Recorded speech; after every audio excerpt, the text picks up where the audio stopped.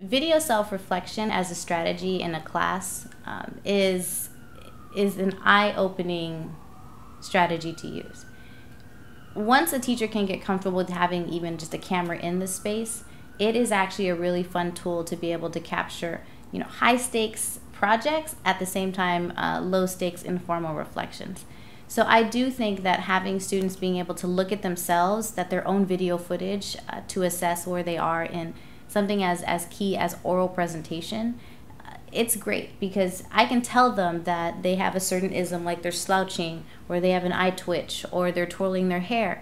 But when they can actually see for themselves what they look like on screen, I don't have to say a word. So again, my role in, as a teacher and, and kind of my voice being present in everything, I actually, this is one of those times where the camera speaks for itself.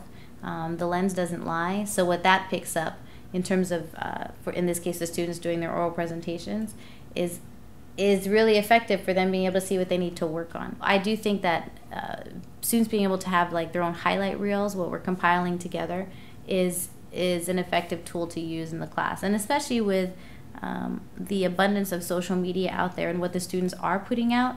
Um, oftentimes, you know, you you wish they would put out, uh, you know, video works that actually show them at you know becoming as showing them as an academic.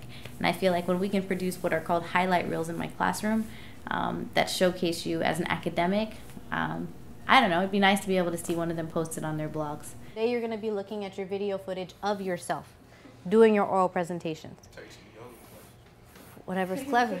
Okay? So that's part of how you're going to get over the fear is you have to watch yourself. I watched you on your highlight reels. And I'm already seeing improvement from January to now. You're gonna do a guru collection of multiple uh, videos, but I wanna go through them first. In this resource, and don't go to this one first, go to this one last.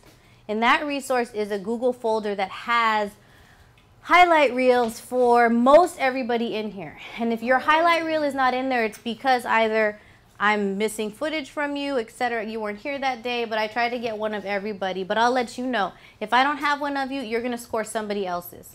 Watch yourself. Force yourself. I don't want to watch Look this. at yourself. Come on. Count your you know. So, like, how do you think you did? I mean, I, I just That was a miracle. honestly, I wasn't even ready when I did this What do you one. notice I about remember you did it good. What? Which one? My max speech? Yeah, my max speech was ah, cool. Okay. It's You just see this that? one. It's like You see I, didn't, I wasn't really prepared. Like when I came in class, like I had to do as much as I could before I had to go up. Okay. So it's a, it's a, I want to. This is my prezi. How did you listen to the speed of what you're saying? I mean, I'm talking about that. Okay. Go back and watch yourself two times. But too quiet.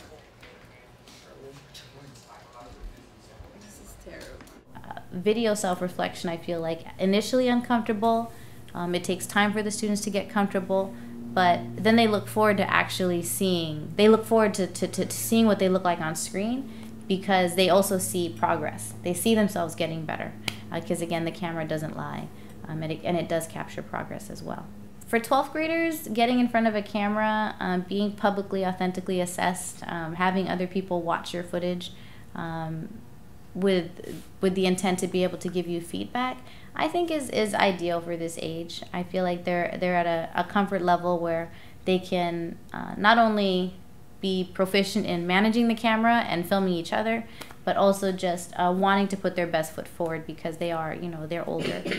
Um, so i feel like in, in terms of how does this work with this particular age group i think that it does work really well with upper grade levels um, and it makes effective teaching tools for myself as a teacher for next year when my students can see years and years and years worth of other students uh, doing the same exercises.